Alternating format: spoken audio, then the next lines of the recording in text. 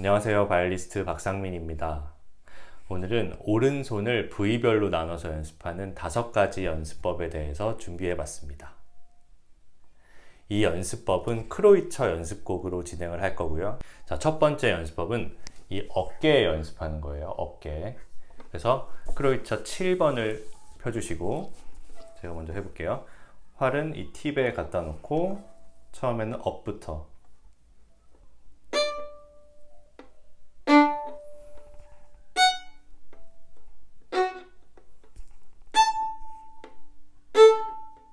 팁 쪽에서 활을 업부터 시작하는데 정말 조금만 하고 주의하실 점은 이 줄을 바꿀 때 어, 이 활에 싣고 있는 무게를 풀면 안 돼요. 이렇게 줄 넘어갈 때 이렇게 느슨하게 넘어가지 않도록 하고 꼭 무게를 유지하고 넘어가서 넘어가서 넘어가서 그리고 제가 첫 번째는 어깨라고 말씀드렸죠. 이 어깨 움직임에 집중하면서 어깨가 보이시나요? 제가 어깨가 좁지는 않은데 네. 여기요. 네, 다시 업부터 시작할게요. 하고 어깨 어깨 어깨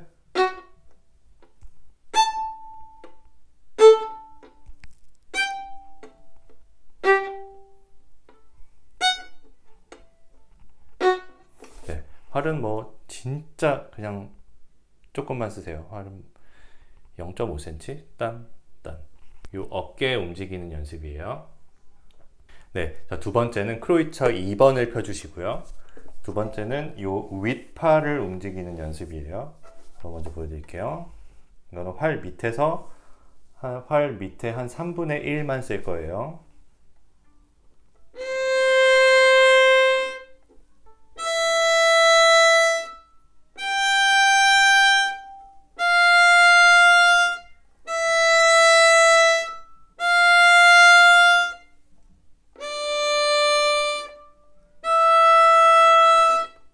어깨랑 이 윗팔의 움직임에 집중하면서 내리말할 때는 이 윗팔이 윗팔로 활을 이렇게 당기듯이 내려오고 올리말 할 때는 이렇게 잘 따라가 주고 그 외의 부위들은 어, 움직이지 마시고요. 멈추고 따라가고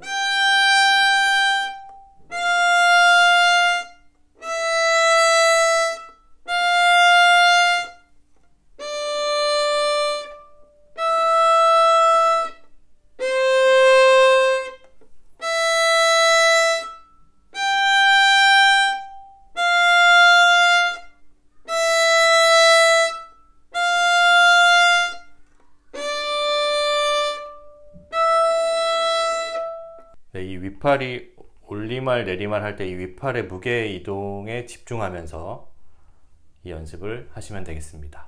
이제 세 번째 연습법은 어, 다시 크로이처 7번을 펴주시고요. 이 어깨와 윗팔의 이 콤비네이션 이거를 같이 연습해 보는 걸 해볼게요. 자, 활 팁에 놓고 업으로 시작합니다. 하고 활 밑으로 와서 다운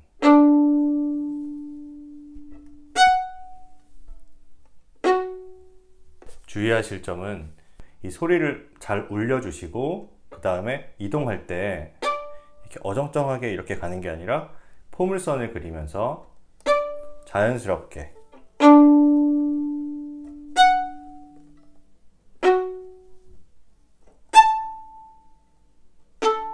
그리고 이거를 딱 잘 대주셔야 돼요 줄에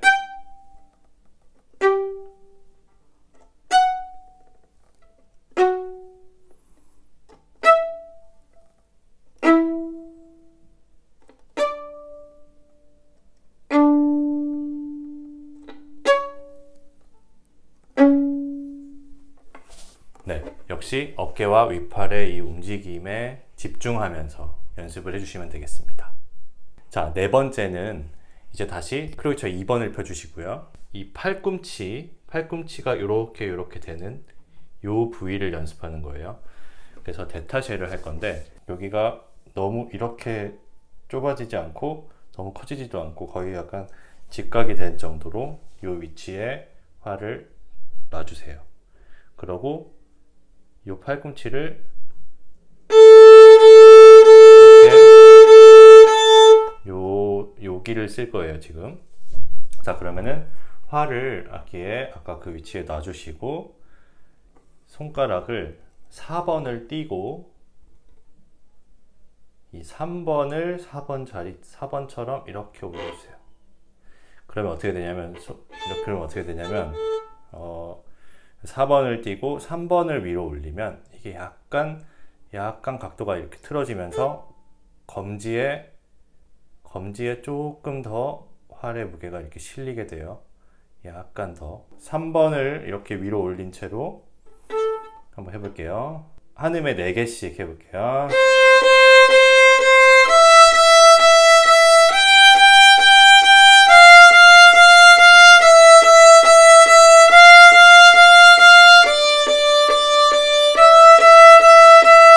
되도록이면은 음이 꽉꽉 차게 그리고 활 바꿀 때 힘이 빠지지 않도록 뭐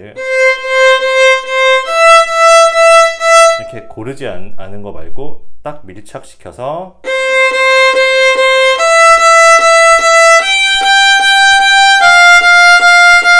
네, 이 3번을 위로 올리면 이게 밀착이 더 잘 되고 이 느낌을 느끼시기가 더 편하실 거예요. 그 다음에는 이게 잘 되신다. 하면은 이제 다시 원래대로 손가락을 활 잡듯이 원래대로 잡아줍니다. 잡아주고 다시 해봐요. 근데 그 느낌을 기억하면서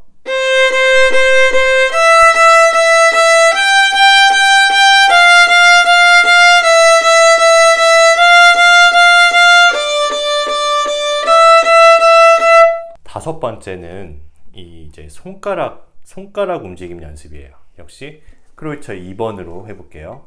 이걸 한음을 두 번씩 할 건데 활 밑에서 하면은 이 손가락들이 다 이렇게 돼 있고 두 번씩 해볼게요.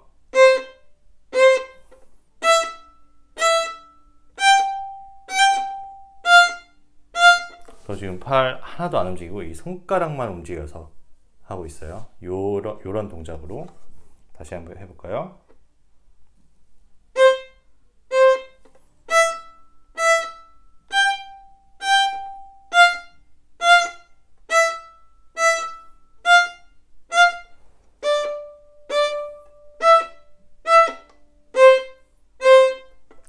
되도록이면 소리가 어, 예쁘게 나도록 하는 게 좋겠죠. 이게 너무 이런 소리 아니고 이 부위별로 다섯 가지 연습법을 알아봤는데요. 이렇게 하나씩 해보시고 자기가 특별히 조금 약한 부위, 좀 아직 트레이닝이 덜 된 부위는 조금씩 더 집중해서 많이 해주시면 좋을 것 같아요. 저 같은 경우에는 저는 이 손목이 너무 느슨해가지고 예전에 이 윗팔 연습, 손목을 좀 이렇게 어, 많이 안 움직이고 이 팔 전체로 하는 그 두 번째 연습 방법이었죠. 이게 이렇게 이렇게 하는 예, 윗팔 무게를 이렇게 왔다 갔다 하는 저는 이거를 많이 했었던 기억이 나요. 지금도 물론 가끔씩 하고요. 각자 취약한 부분을 취약한 부위를 좀 이렇게 집중해서 연습하시면 아주 좋을 것 같습니다. 구독과 좋아요. 안녕.